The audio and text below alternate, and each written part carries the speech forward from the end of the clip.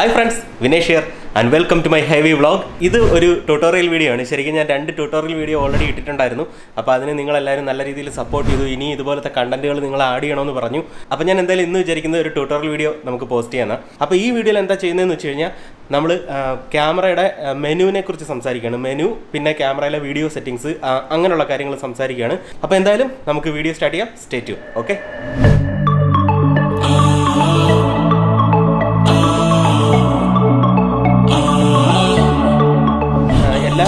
ക്യാമറയിലും ഒരേപോലെ തന്നെ ആയിരിക്കും. മെനു ഏകദേശം അങ്ങോട്ടും ഇങ്ങോട്ടും ഒക്കെ ചെറിയ വ്യത്യാസമേ കാണും. ഇതിലുള്ള ടേംസുകളും കാര്യങ്ങളും എല്ലാം ഒരുപോലെ ആയിരിക്കും. അപ്പം ഈ ഒരു ക്യാമറ നമ്മൾ ജസ്റ്റ് ബ്രീഫായിട്ടൊന്ന് പോയാൽ തന്നെ നിങ്ങൾക്ക് എല്ലാം മനസ്സിലാവും. ഇതിൽ ആവശ്യമുള്ള മാത്രമേ ഞാൻ പറയുന്നുള്ളൂ. എന്ന് വെച്ച് കഴിഞ്ഞാൽ ഒരു ഇൻഡപ്ത് കാര്യങ്ങളൊന്നും പോകുന്നില്ല. ഇനി നമുക്ക് മെനു ബട്ടണിലോട്ട് പോകാം അപ്പം മെനു ബട്ടൺ എടുക്കുകയാണ് ഓക്കെ ഇതാണ് നമ്മുടെ മെനു ബട്ടൺ താ ഇതാണ് നമ്മുടെ മെനു ബട്ടൺ അപ്പോൾ മെനു ബട്ടൺ പ്രസ് ചെയ്തു. ഈ ലെഫ്റ്റ് സൈഡിൽ കാണുന്ന ഓരോന്നും നിങ്ങൾ ഓരോ പേജായിട്ട് കൺസിഡർ ചെയ്യുക. ഇത് പ്ലേ ബാക്ക് മെനു ഇനി താഴോട്ട് ക്ലിക്ക് ചെയ്യുമ്പോൾ ഇത് ഷൂട്ടിംഗ് മെനു അടുത്തത് കസ്റ്റം സെറ്റിംഗ് മെനു. അടുത്തത് അതിന്റെ സെറ്റപ്പ് മെനു. അടുത്തത് റീടച്ച് മെനു. അടുത്തത് മൈ മെനു. അപ്പം ഇത്ര ടാബുകളുണ്ട്. ഏതൊരു ക്യാമറ എടുത്താലും നിങ്ങൾ ആദ്യം അതിന്റെ ലെഫ്റ്റ് സൈഡിലോ ചിലതിൽ ടോപ്പ് സൈഡിലായിട്ട് ഇങ്ങനെ ആയിരിക്കും. ടോപ്പ് സൈഡിൽ ഇവിടെ ഇങ്ങനെ വരും. അപ്പോൾ അവിടെ ഇതുപോലെ ഓരോരോ ടാബുകൾ കാണും. ആ ടാബിനകത്തായിരിക്കും ഓരോരോ സെറ്റിങ്സുകൾ അല്ലെങ്കിൽ ഓരോരോ സബ് മെനൂസ് കാണുന്നത്. അപ്പം ഫസ്റ്റ് തന്നെ play back menu playback മെനുവിൽ നമുക്ക് നോക്കാം. പ്ലേ ബാക്ക് മെനുവിൽ അകത്തോട്ട് കയറാൻ ദാ ഈ ജോസ്റ്റിക്ക് വെച്ച് അകത്തോട്ട് കയറണം. അപ്പോൾ അകത്തുള്ളത് സെലക്ട് ആയി. അതിൽ ഡിലീറ്റ് ഉണ്ട്. പ്ലേ ബാക്ക് ഫോൾഡർ ഉണ്ട്. ഹിഡൻ ഇമേജ് ഹൈഡ് ഇമേജ് ഉണ്ട്. അപ്പം ഡിലീറ്റ് എന്ന് വെച്ചാൽ ഒരു വീഡിയോ ഓഫ് കോഴ്സ് നമുക്ക് ഒരു ഫോട്ടോയോ വീഡിയോ ഡിലീറ്റ് ചെയ്യാൻ പ്ലേ ബാക്ക് ഫോൾഡർ നമുക്ക് സെറ്റ് ചെയ്ത് കൊടുക്കാം. ഏത് വേണമെന്നുണ്ട്. അപ്പം ഹൈഡ് ഇമേജ് ഇമേജ് ഹൈഡ് ചെയ്യാം. അതുപോലെ ഇമേജ് റിവ്യൂ ആഫ്റ്റർ ഡിലീറ്റ് എന്നുള്ള ഓപ്ഷൻ റൊട്ടേറ്റ് ചെയ്യാം. അങ്ങനെ കുറേ ഓപ്ഷൻസ് അത് പ്ലേ ബാക്ക് മെനു നമ്മൾ യൂഷ്വലി അതൊന്നും യൂസ് ചെയ്യാറില്ല.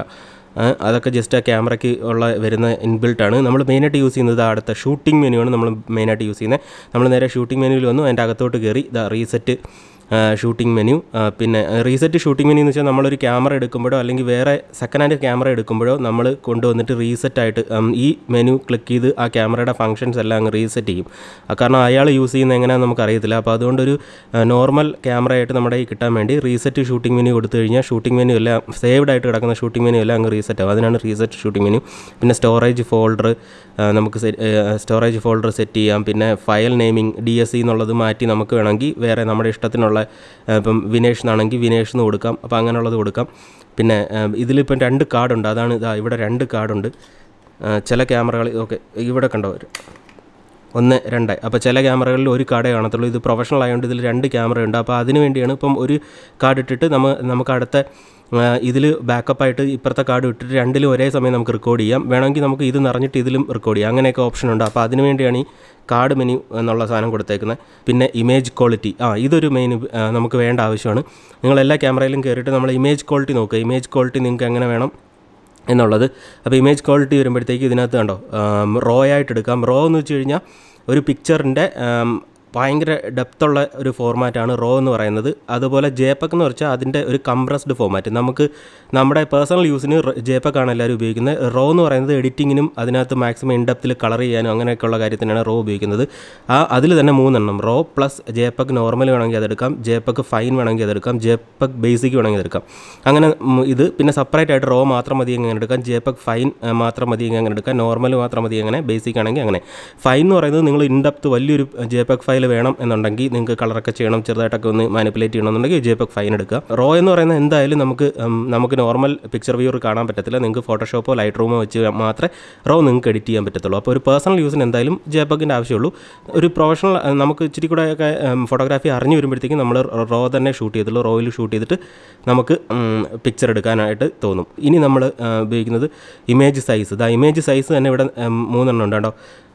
ഒന്ന് large image medium image small image small ഇമേജിൽ കണ്ടോ? അതിനകത്ത് പറയുന്നുണ്ട് ലാർജ് ഇമേജ് സെറ്റ് ചെയ്യുവാണെങ്കിൽ ഇരുപത്തിനാല് എം ബി വരുന്നൊരു ഫയൽ വരും. മീഡിയം ഇമേജ് സെറ്റ് ചെയ്യുവാണെങ്കിൽ പതിമൂന്ന് എം ബി വരുന്നത് സ്മാൾ ഇമേജ് ആണെങ്കിൽ സിക്സ് എം ബി വരുന്നൊരു ഫയൽ കിട്ടും. പിന്നെ വരുന്നത് ജെ കംപ്രഷൻ എന്ന് വെച്ച് കഴിഞ്ഞാൽ ജേപ്പക് എങ്ങനെ കംപ്രസ് ചെയ്യണം എന്നുള്ളൊരു കംപ്രഷൻ മെത്തേഡാണത് അത് നമുക്ക് നോർമലി ആവശ്യമില്ല. പിന്നെ ഷൂട്ടിംഗ് മെനുവിൽ വരുന്ന എന്താണെന്ന് വെച്ച് കഴിഞ്ഞാൽ താഴോട്ട് പോകുമ്പം N F recording white balance white balance നിങ്ങൾ ശ്രദ്ധിക്കേണ്ട ഒരു കാര്യം. വൈറ്റ് ബാലൻസിനെ കുറിച്ച് ഞാൻ സെപ്പറേറ്റ് ഒരു വീഡിയോ ചെയ്യുന്നതാണ്. വൈറ്റ് ബാലൻസിന്റെ അർത്ഥം എന്ന് വെച്ച് കഴിഞ്ഞാൽ നമ്മൾ എടുക്കുന്ന ഒരു ഫോട്ടോയിൽ എന്തുമാത്രം വൈറ്റ് വൈറ്റായിട്ട് തന്നെ ഇരിക്കുന്നു എന്നുള്ളതാണ് വൈറ്റ് ബാലൻസ് അപ്പം വൈറ്റ് ബാലൻസ് നമ്മൾ ശ്രദ്ധിക്കേണ്ടത് ക്യാമറയിൽ ഒരുപാട് ടൈപ്പ് വൈറ്റ് ബാലൻസ് നമുക്ക് അവൈലബിൾ ആയിട്ട് തരുന്നുണ്ട്. ഇതിൽ ഞാൻ കാണിച്ചു തരാം. ഇത് ക്ലിക്ക് ചെയ്യുമ്പോൾ കണ്ടോ? Incandescent white balance fluorescent white balance പിന്നെ ഫ്ലാഷ് ഇടുമ്പോൾ നമ്മളൊരു വൈറ്റ് ബാലൻസ് ഇടണം. പിന്നെ ഡയറക്റ്റ് സൺലൈറ്റിൽ ഫോട്ടോ എടുക്കുകയാണെങ്കിൽ ഈ ഈ സെറ്റിങ്സ് പറഞ്ഞു കൊടുക്കണം. ഷെയ്ഡിലാണ് നമ്മൾ ഫോട്ടോ എടുക്കുന്നത്. ഈ സെറ്റിങ്സ് പറഞ്ഞു കൊടുക്കണം. മെയിനായിട്ട് ഞാൻ നമ്മൾ ഒരു നോർമൽ ഒരാളാണെങ്കിൽ ഓട്ടോ ഇട്ടാൽ മതി. പിന്നെ കുറച്ചുകൂടെയൊക്കെ ഇൻഡെപ്ത് ഫോട്ടോഗ്രാഫി പോകുമ്പോൾ നമുക്ക് ഓരോ വൈറ്റ് ബാലൻസിനെ കുറിച്ച് നമുക്ക് പഠിക്കാം. അപ്പോൾ നോർമലി വൈറ്റ് ബാലൻസ് സെറ്റ് ചെയ്ത് ഓട്ടോ ആയിട്ട് കൊടുത്താൽ മതി. അപ്പോൾ ശ്രദ്ധിക്കുക എന്താണ് വൈറ്റ് ബാലൻസ് എന്ന് വെച്ചാൽ നമ്മുടെ ഒരു പിക്ചറിലെ വൈറ്റിനെ വൈറ്റായിട്ട് തന്നെ കാണിക്കാൻ. ക്യാമറ സെറ്റ് ചെയ്ത് തന്നേക്കുന്ന ഓപ്ഷനാണ് അപ്പം അത് ഒരു എക്സാമ്പിൾ പറഞ്ഞാൽ നമ്മൾ ഒരു നല്ല വെയിലുള്ള സ്ഥലത്താണെങ്കിൽ ഈ ഡയറക്റ്റ് സൺലൈറ്റ് എന്ന് പറഞ്ഞ വൈറ്റ് ബാലൻസ് സെറ്റ് ചെയ്ത് കൊടുക്കുക. അപ്പം അതിനകത്ത് എന്തെങ്കിലും വൈറ്റ് ആയിട്ടുള്ള ഷർട്ട് ഇട്ടുകൊണ്ട് ഒരാൾ നിൽക്കുകയാണെങ്കിൽ ആ ഡയറക്റ്റ് സൺലൈറ്റിൽ ആ വൈറ്റിനെ വൈറ്റ് ആയിട്ട് തന്നെ ക്യാമറ കാണിക്കും. അങ്ങനെ തരുന്നൊരു ഇതാണ് വൈറ്റ് ബാലൻസ് നമ്മുടെ പിക്ചറിലെ വൈറ്റിനെ ബാലൻസ് ചെയ്യാനുള്ള സാധനം. പിന്നെ set picture control picture control എന്ന് പറഞ്ഞു കഴിഞ്ഞാൽ പിക്ചർ പ്രൊഫൈലാണ് ക്യാമറയിൽ ഇപ്പോൾ കനോളിലാണെങ്കിൽ പിക്ചർ പ്രൊഫൈൽ സോണിയിലും പിക്ചർ പ്രൊഫൈൽ പി പി എന്ന് പറയും. അത് എടുക്കുമ്പോഴത്തേക്കും ഒരുപാട് ടൈപ്പ് പിക്ചർ പ്രൊഫൈൽ തരുന്നുണ്ട്. എന്ന് വെച്ച് കഴിഞ്ഞാൽ സ്റ്റാൻഡേർഡ് പിക്ചർ പ്രൊഫൈൽ കാണും ഒരു ക്യാമറയിൽ പിന്നെ ന്യൂട്രൽ കാണും. വിവിഡ് മോണോക്രോമും പോർട്രേറ്റ് ലാൻഡ്സ്കേപ്പ് ഇതെല്ലാം പിക്ചർ പ്രൊഫൈലാണ് എന്ന് വെച്ചാൽ ഇവരുടെ കളർ പ്രൊഫൈൽസുകളാണ് ഇത് ഓരോ ക്യാമറകൾക്കും ചേഞ്ചാണ് എന്ന് വെച്ച് നിക്കോണിന്റെ സ്റ്റാൻഡേർഡ് കളർ പ്രൊഫൈൽ ആയിരിക്കത്തില്ല കനോണിൽ വരുന്നത്. അതുപോലെ നിക്കോണിന്റെ സ്റ്റാൻഡേർഡ് ന്യൂട്രൽ പ്രൊഫൈലല്ല കനോണിൽ വരുന്നത്. സോണിയിൽ വരുന്നത്. അങ്ങനെ വ്യത്യാസമുണ്ട്. അപ്പോൾ ഓരോ ക്യാമറയ്ക്കും അവരുടേതായിട്ടുള്ള അവർ തന്നെ റിസർച്ച് ചെയ്ത് കണ്ടുപിടിച്ച ഓരോരോ പിക്ചർ പ്രൊഫൈലുകളുണ്ട് അതാണ് ഈ പിക്ചർ കൺട്രോൾ എന്ന് പറയുന്നത്. ക്യാമറ കിട്ടുമ്പോഴേ സ്റ്റാൻഡേർഡ് പിക്ചർ പ്രൊഫൈലായിരിക്കും ഫോട്ടോ വരുന്നത്. പിന്നെ നമുക്ക് ന്യൂട്രൽ എടുത്തിടുമ്പോഴത്തേക്കും ഒരു ഫ്ലാറ്റ് ആയിട്ടുള്ള ഒരു അധികം കളറും കോൺട്രാസ്റ്റ് ഒന്നും ഇല്ലാത്തൊരു ഫ്ലാറ്റ് ആയിട്ടുള്ള ഒരു പ്രൊഫൈൽ കിട്ടും. പ്രൊഫൈൽ കിട്ടിയിട്ട് നമുക്ക് അതിനകത്ത് ഷൂട്ട് ചെയ്തിട്ട് കളർ എഡിറ്റിൽ എടുത്തിട്ട് നമുക്ക് ആപ്ലിക്കേഷനിൽ എടുത്തിട്ട് നമുക്ക് എഡിറ്റ് ചെയ്ത് അതിനെ നല്ല രീതിയിൽ ഭംഗിയാക്കി എടുക്കാം. അതാണ് ന്യൂട്രൽ പിക്ചർ പ്രൊഫൈൽ പിന്നെ മോണോക്രോമായിട്ട് ഫോട്ടോ മോണോക്രോം എന്ന് വെച്ച് കഴിഞ്ഞാൽ ബ്ലാക്ക് ആൻഡ് വൈറ്റ് ആയിട്ട് ബ്ലാക്ക് ആൻഡ് വൈറ്റ് ആയിട്ട് തന്നെ നമുക്ക് നിങ്ങൾക്ക് ഫോട്ടോ എടുക്കണമെന്നുണ്ടെങ്കിൽ അതാണ് മോണോക്രോമായിട്ട് ഫോട്ടോ എടുക്കുന്നത്. പിന്നെ പോർട്രേറ്റ് മോഡ് ഫോട്ടോ എടുക്കുമ്പോഴത്തേക്കും പോർട്രേറ്റ് എന്ന് പറയുന്ന ഈ സെറ്റിങ്സ് കൊടുക്കുമ്പോൾ പോർട്രേറ്റ് മോഡിൽ നമുക്ക് ഫോട്ടോ എടുക്കണമെങ്കിൽ പിന്നെ നമുക്ക് കിട്ടുന്നതെന്ന് വെച്ച് കഴിഞ്ഞാൽ ലാൻഡ്സ്കേപ്പ് നമ്മളൊരു ലാൻഡ്സ്കേപ്പ് എടുക്കുകയാണെങ്കിൽ ഈ ഈ പിക്ചർ മോഡ് ഇട്ട് കൊടുക്കുക. അപ്പോൾ ഇതിനുള്ള ഈ ലാൻഡ്സ്കേപ്പിന് പറ്റിയുള്ള കളർ പ്രൊഫൈലാണ് ഇതിനകത്ത് കിടക്കുന്നത്. അപ്പോൾ ഈ ഒരു ഓപ്ഷൻ സെലക്ട് ചെയ്ത് കൊടുത്തു കഴിഞ്ഞാൽ അത്യാവശ്യം നല്ലൊരു ലാൻഡ്സ്കേപ്പ് എടുക്കാൻ വേണ്ടി അതിനനുയോജ്യമായിട്ടുള്ള കളേഴ്സ് ഇത് സെറ്റ് ചെയ്ത് തരും. ക്യാമറ തന്നെ സെറ്റ് ചെയ്ത് തരും. ഇതിനകത്ത് എക്സ് നിങ്ങൾക്ക് അകത്ത് കയറിയാൽ കാണണമെന്നുണ്ടെങ്കിൽ ഞാൻ കാണിച്ചു തരാം. കണ്ടോ ഇതിനകത്ത് അകത്ത് കയറുമ്പോഴത്തേക്കും നിങ്ങൾക്ക് അതിന്റെ ഷാർപ്പനിങ് ഇത് എത്രയുണ്ട് ഷാർപ്പനിങ് അതറിയാൻ പറ്റും. കോൺട്രാസ്റ്റ് എത്രയുണ്ടെന്ന് അറിയാൻ പറ്റും. ബ്രൈറ്റ്നസ് എത്രയുണ്ടെന്ന് അറിയാൻ പറ്റും. സാച്ചുറേഷൻ എത്രയുണ്ടെന്ന് അറിയാൻ പറ്റും. ഹ്യൂ എന്ന് പറയുന്നത് എത്രയുണ്ടെന്ന് അറിയാൻ പറ്റും. ഇതെല്ലാം ക്യാമറ തന്നെ സെറ്റ് ചെയ്ത് വെച്ചേക്കുന്നതാണ് ഈ സ്റ്റാൻഡേർഡ് എന്നുള്ള പിക്ചർ പ്രൊഫൈൽ ഇതിനകത്ത് നമുക്ക് വേണമെങ്കിൽ എക്സ്ട്രാ കയറി നമുക്ക് സെറ്റ് ചെയ്യാം. ഇപ്പോൾ സ്റ്റാൻഡേർഡ് കയറിയിട്ട് എനിക്ക് വേണമെങ്കിൽ ഇതാ അങ്ങനെ സെറ്റ് ചെയ്ത് കൊടുക്കാം. മുകളിൽ പിന്നെ അതുപോലെ ഇപ്പം എനിക്ക് സാച്ചുറേഷൻ കുറച്ചുകൂടെ കൂട്ടണമെങ്കിൽ ഇതാ ഇങ്ങനെ കൂട്ടി കൊടുത്താൽ മതി. കണ്ടോ? ഇങ്ങനെ കൂട്ടി കൊടുക്കുമ്പം ആ പിക്ചർ വരുന്ന പിക്ചർ നല്ലൊരു സാച്ചുറേറ്റഡ് പിക്ചർ ആയിരിക്കും. അത് ഓരോ പ്രൊഫൈലിനും നമുക്ക് വേണമെങ്കിൽ കയറി നമുക്ക് തന്നെ സെറ്റ് ചെയ്തെടുക്കാം. ആ കളർ സ്പേസ് നിങ്ങൾ അറിയേണ്ടത് എസ് ആർ ജി ബി പിന്നെ അഡോബ് ആർ ജി ബി എന്നും പറഞ്ഞ്. അപ്പോൾ എസ് ആർ ജി ബി ആണ് നോർമലി എല്ലാവരും ഉപയോഗിക്കുന്നത്. അഡോബ് ആർ ജി ബി എന്ന് പറയുന്നത് അഡോബ് ഫോട്ടോഷോപ്പ് അല്ലെങ്കിൽ പ്രീമിയർ അതിനകത്തൊക്കെ വർക്ക് ചെയ്യുന്ന പ്രൊഫൈലാണ് അതിനകത്ത് കുറച്ചുകൂടെ കളർ സ്പേസ് ഉണ്ടാവും. അതാണ് അഡോബിന്റെ ആർ ജി ബി അതിനകത്ത് കുറച്ചുകൂടെ കളർ സ്പേസ് കിട്ടും. ഇപ്പോൾ normally S R G B എടുത്താലും കുഴപ്പമില്ല. അഡോബ് ആർ ജി ബി എടുത്താൽ ഇൻഡെപ്ത് കുറച്ചുകൂടെ കളർ സ്പേസ് നിങ്ങൾക്ക് കിട്ടും. എന്ന് വെച്ചാൽ ഒരുപാട് കളേഴ്സിനെ അത് ക്യാപ്ചർ ചെയ്യും. ഇനി നമുക്ക് high dynamic range high dynamic range എന്ന് വെച്ച് കഴിഞ്ഞാൽ ഒരു പിക്ചർ നമ്മൾ സന്ധ്യാസമയത്തൊക്കെ എടുക്കുമ്പോൾ അല്ലെങ്കിൽ എന്ന് വെച്ചാൽ ഒരു എക്സാമ്പിൾ പറഞ്ഞാൽ നമ്മൾ ഒരാളെ ഒരു സ്കൈയുടെ സ്കൈയുടെ ബാക്ക്ഗ്രൗണ്ടിൽ നിർത്തിയിട്ട് നമ്മൾ എടുക്കുക അപ്പോൾ സ്കൈ ഭയങ്കര വെട്ടമായിരിക്കും. അയാളുടെ മുഖം ഭയങ്കരമായിട്ട് ഇരുണ്ടിരിക്കും. അപ്പം ആ സമയം നമ്മൾ ഹൈ ഡൈനാമിക് റേഞ്ച് ഓൺ ആക്കി കൊടുക്കുക. എന്നിട്ട് നമ്മൾ ഫോട്ടോ എടുക്കുക. അപ്പോൾ അയാളുടെ മുഖവും കിട്ടും. നമുക്ക് ബാക്ക്ഗ്രൗണ്ടിലെ സ്കൈയും കിട്ടും. അതാണ് ഒരു ഹൈ ഡൈനാമിക് റേഞ്ചിന്റെ ഒരു സിമ്പിളായിട്ടുള്ള ഒരു എക്സ്പ്ലനേഷൻ ഇത് വിഗ്നെറ്റ് കൺട്രോളാണ് നമ്മളൊരു പിക്ചർ എടുക്കുമ്പോൾ അതിന്റെ ചുറ്റും ഒരു ബ്ലാക്ക് വലയം പോലെ ഒരു ചെറിയൊരു ഫെയ്ഡിങ് വരും. അത് എത്രത്തോളം വേണം എന്നുള്ളതാണ് വിഗ്നെറ്റ് കൺട്രോൾ അത് ചില ക്യാമറകളിൽ ഇൻബിൽട്ടായിട്ട് വരും. നിക്കോണിൽ അതിൽ തന്നെ വരുന്നുണ്ട്. ചില ക്യാമറയിൽ അത് കാണത്തില്ല. അതിനകത്ത് നമുക്ക് ഹൈ ആയിട്ടൊരു ഇൻ വിഗ്നെറ്റ് വേണമെങ്കിൽ ഹൈ സെറ്റ് ചെയ്യാം നോർമൽ സെറ്റ് ചെയ്യാം ലോ സെറ്റ് ചെയ്യാം. അങ്ങനെ കുറേ സാധനങ്ങളുണ്ട്. ഇനി വരുന്ന ഇനി മെയിനായിട്ട് വരുന്നത് മൂവി സെറ്റിങ്സ് ആണ്. മൂവി സെറ്റിങ്സ് ഞാൻ എടുക്കുകയാണ് മൂവി സെറ്റിങ്സിൽ നിങ്ങൾ അറിയേണ്ടതെന്ന് വെച്ചാൽ ആദ്യം ഫ്രെയിം റേറ്റ് എടുക്കുക. ഫ്രെയിം റേറ്റ് എടുക്കുമ്പോൾ കണ്ടോ ഇതിനകത്ത് ഇത്രയും ഫ്രെയിം റേറ്റ് ഉണ്ട്. Thirty thirty P twenty five P twenty four P പിന്നെ സെവൻ ട്വന്റി പി അങ്ങനെ താഴോട്ട് ഒരുപാട് മൂവി ഫയൽസ് മൂവി സൈസും ഫ്രെയിം സൈസും ഫ്രെയിം റേറ്റും കൊടുത്തിട്ടുണ്ട്. അപ്പോൾ ഇതിന്റെ വ്യത്യാസം എന്താണെന്നുള്ളത് ഞാനൊരു വീഡിയോയിൽ പ്രോപ്പറായിട്ട് പറയുന്നതാണ്. ഇപ്പം ഞാൻ പറഞ്ഞുതരാം ഇതിനകത്ത് ഇപ്പം ചെറുതായിട്ടൊന്ന് പറഞ്ഞുതരാം. തേർട്ടി ഫ്രെയിം പെർ സെക്കൻഡാണ് നമ്മൾ വീഡിയോ റെക്കോർഡ് ചെയ്യുന്നതെങ്കിൽ ഒരു സെക്കൻഡിൽ തേർട്ടി ഫ്രെയിംസ് റെക്കോർഡ് ചെയ്യും. ട്വന്റി ഫൈവ് ഫ്രെയിം പെർ സെക്കൻഡിലാണ് നമ്മൾ വീഡിയോ എടുക്കുന്നതെങ്കിൽ ഒരു സെക്കൻഡിൽ ട്വന്റി ഫൈവ് ഫ്രെയിം പെർ സെക്കൻഡാണ് റെക്കോർഡ് ചെയ്യുന്നത്. ട്വന്റി ഫോ ഫോർ ആണെങ്കിൽ ഒരു സെക്കൻഡിൽ ട്വന്റി ഫോർ ഫ്രെയിംസ് റെക്കോർഡ് ചെയ്യും. പിന്നെ താഴെ വരുമ്പോൾ നിങ്ങൾക്ക് അറിയാലോ ഇത് സെവൻ ട്വന്റി പി ആണ്. സെവൻ ട്വന്റി പി ആണ് എച്ച് ഡി എന്ന് പറയുന്നത്. ടെൻ എയ്റ്റി പി ആണ് ഫുൾ എച്ച് ഡി എന്ന് പറയുന്നത്. അപ്പം നമ്മൾ നോർമലി ഷൂട്ട് ചെയ്യുന്നത് twenty four frame per second ആണ്. കാരണം എല്ലാ സിനിമകളും ട്വന്റി ഫോർ ഫ്രെയിം പെർ സെക്കൻഡിലാണ് ഷൂട്ട് ചെയ്യുന്നത്. പിന്നെ twenty four frame per second ആണ് ഒരു എക്സാക്റ്റ് നല്ലൊരു ഓപ്ഷൻ തരുന്ന ഒരു ഫ്രെയിം റേറ്റ് നമ്മുടെ കണ്ണുകൊണ്ട് കാണുന്നതിനെ പോലെ തന്നെ നമുക്ക് തോന്നുന്നത് ട്വന്റി ഫോർ ഫ്രെയിം പെർ സെക്കൻഡിൽ ഷൂട്ട് ചെയ്യുമ്പോഴാണ്. പിന്നെ ഇന്ത്യയിലും ഇന്ത്യയിലും യൂറോപ്യൻ കൺട്രികളിലുമാണ് മെയിനായിട്ട് twenty four frame per second twenty five frame per second എടുക്ക ഉപയോഗിക്കുന്നത്.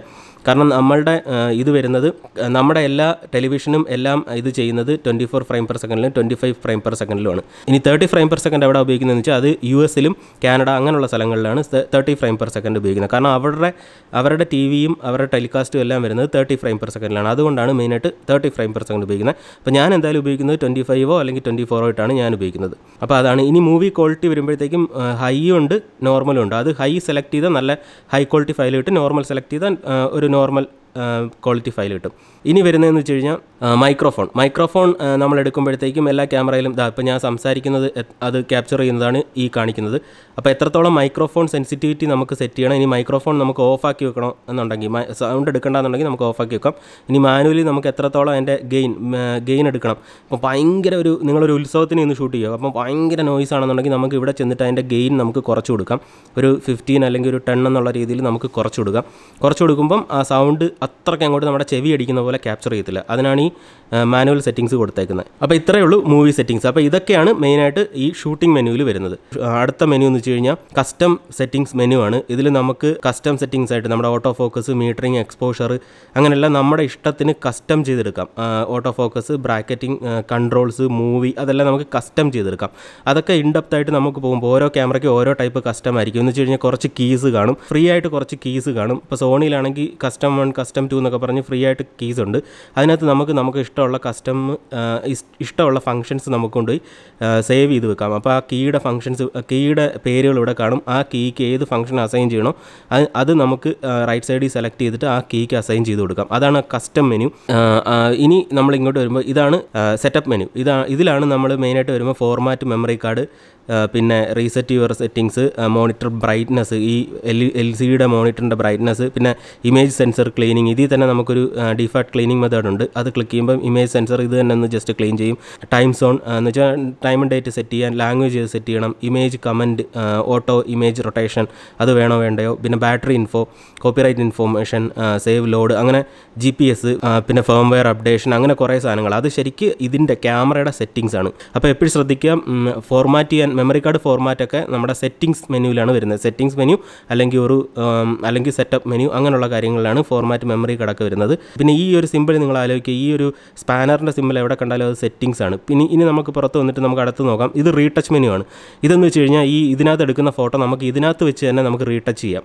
ഈ ക്യാമറയിൽ തന്നെ വെച്ച് അതിനകത്ത് അത്യാവശ്യം വേണ്ട D lighting red eye correction trim monochrome ആക്കാം. ഫിൽട്ടർ എഫക്ട്സ് കൊടുക്കാം. കളർ ബാലൻസ് എടുക്കാം. ഇമേജ് ഓവർലേ എടുക്കാം. പിന്നെ റോയുടെ പ്രോസസ്സിങ് ചെയ്യാം. പിന്നെ റീസൈസ് ചെയ്യാം ഡിസ്ട്രോഷൻ കൺട്രോൾ ഫിഷ് ഐ ആയിട്ട് അതിനെ സേവ് ചെയ്യാം കളർ ഔട്ട്ലൈൻ സേവ് ചെയ്യാം. അങ്ങനെ കുറേ കാര്യങ്ങൾ ഈ ക്യാമറയിൽ തന്നെ അവർ തന്നിട്ടുണ്ട്. മിനിയേച്ചർ എഫക്റ്റ് കൊടുക്കാം അങ്ങനെ കുറേ കാര്യങ്ങൾ അപ്പോൾ നോർമലി നമ്മൾ ഫോട്ടോ എടുത്തിട്ട് അതിന്റേതായിട്ടുള്ള ഫോട്ടോഷോപ്പിലോ അല്ലെങ്കിൽ ലൈറ്റ് റൂമിലോ അതിലിട്ടിട്ടാണ് നമ്മൾ കറക്റ്റ് ചെയ്യുന്നത്. ക്യാമറയിൽ നമ്മൾ കുത്തിയിരുന്ന് ചെയ്യത്തില്ല. ഒന്നാമത് ഡിസ്പ്ലേ വളരെ കുറവായിരിക്കും വളരെ ചെറുതാണ്. പിന്നെ നമുക്ക് കുറച്ചുകൂടെ കൺട്രോൾ കിട്ടുന്നത് ആപ്ലിക്കേഷനിലാണ്. അപ്പോൾ അതുകൊണ്ട് നമ്മൾ അതിൽ എടുക്കാറുള്ളൂ. ഇത് എന്നാലും കാനോൺ നിക്കോൺ തരുന്ന ഒരു റീടച്ച് മെനു ആണ് അത് ചിലപ്പം കാനോണിലും ഉണ്ടാവും സോണിയിലും ഉണ്ട്. അങ്ങനെ കുറേ എല്ലാ ക്യാമറയിലും അങ്ങനെ ഒരു ഓപ്ഷൻ തരുന്നുണ്ട്. ഇനി ഇത് നമ്മുടെ മൈ മെനു ആണ്. ഇതിൽ നമുക്ക് ആഡ് ഐറ്റംസ് കൊടുത്തിട്ട് നമുക്ക് നമ്മുടേതായിട്ടുള്ള ഇഷ്ടമുള്ള കാര്യങ്ങൾ ഇതിനകത്ത് സേവ് ചെയ്ത് വെക്കാം. മൈ മെനുവിൽ. അപ്പോൾ നമുക്ക് പെട്ടെന്ന് ഒരു കാര്യം ഇതിനകത്ത് കിടന്ന് തപ്പി പിടിച്ചെടുക്കണ്ട ഇതിനകത്ത് എന്തൊക്കെ ഓപ്ഷൻസ് ഉണ്ടോ? അതൊക്കെ നമുക്ക് ഇതിനകത്ത് തന്നെ സെലക്ട് ചെയ്ത് ഇപ്പോൾ ഇതിനകത്ത് തന്നെ ഫോർമാറ്റ് ചെയ്യണമെങ്കിൽ ഇത് നമുക്ക് ഇതിനകത്ത് തന്നെ ആഡ് ചെയ്ത് വെച്ച് കഴിഞ്ഞാൽ മൈ മെനുവിൽ കയറിയിട്ട് നമുക്ക് ഫോർമാറ്റ് ചെയ്താൽ മതി. അപ്പോൾ ഓക്കെ ഫ്രണ്ട്സ് ഇതൊക്കെയാണ് ഇന്നത്തെ വീഡിയോ ഒരു മെനുവിനെ കുറിച്ച് ഒരു ക്യാമറയുടെ മെനുവിനെ കുറിച്ചുള്ള ഒരു ബ്രീഫ് ആയിട്ടുള്ള ഒരു ഇൻഫർമേഷനാണ് ഞാൻ തന്നത്. അപ്പോൾ ഇനി എന്തായാലും നിങ്ങൾ ക്യാമറ നിങ്ങളുടെ കയ്യിൽ ഇപ്പോൾ ഓൾറെഡി നിങ്ങൾ ഉപയോഗിക്കുന്നുണ്ടെങ്കിലും അല്ലാതെ നിങ്ങൾക്ക് ആരുടെയെങ്കിലും ക്യാമറ കിട്ടുമ്പോഴും അതിന്റെ മെനുവിൽ പോയിട്ട് നിങ്ങൾ ഞാൻ പറഞ്ഞ രീതിയിലൊന്ന് വാച്ച് ചെയ്ത് നോക്കുക. അപ്പോൾ ആ ക്യാമറയിൽ ഏതൊക്കെ ടാബുകളുണ്ടെന്നും ആ ടാബിനകത്ത് ഏതൊക്കെ സെറ്റിംഗ്സ് ആണ് മെൻഷൻ ചെയ്തേക്കുന്നതും ചെയ്തേക്കുന്നതെന്നും ആ ടാബിന്റെ പേരെന്താണെന്ന് നിങ്ങൾ വായിച്ച് നോക്കിയിട്ട് അതിനെ ഓപ്പറേറ്റ് ചെയ്യാൻ പഠിക്കുക. അങ്ങനെ ആകുമ്പോൾ നിങ്ങൾക്ക് സിമ്പിളായിട്ട് ഓരോ മെനുവും നിങ്ങൾക്ക് ഓരോന്നാണ് സ്പെസിഫൈ ചെയ്യുന്നത് എന്നുള്ളതിന്റെ ഒരു സിമ്പിളായിട്ടുള്ള ഒരു ഐഡിയ കിട്ടും. അപ്പോൾ എന്തായാലും നിങ്ങൾ ഇങ്ങനെ യൂസ് ചെയ്ത് നോക്കുക. അപ്പോൾ ഇതെല്ലാം നിങ്ങൾക്ക് ബ്രീഫായിട്ട് മനസ്സിലായെന്ന് വിചാരിക്കുന്നു. ഒരു സിമ്പിളായിട്ടുള്ളൊരു ബ്രീഫ് ആയിട്ടുള്ളൊരു ഇൻഫർമേഷൻ ആയിരുന്നു. അപ്പം അടുത്തൊരു ഹെവി വ്ളോഗുമായിട്ട് ഞാൻ വീണ്ടും വരാം. അപ്പോൾ അതുവരെ Vinesh here signing off.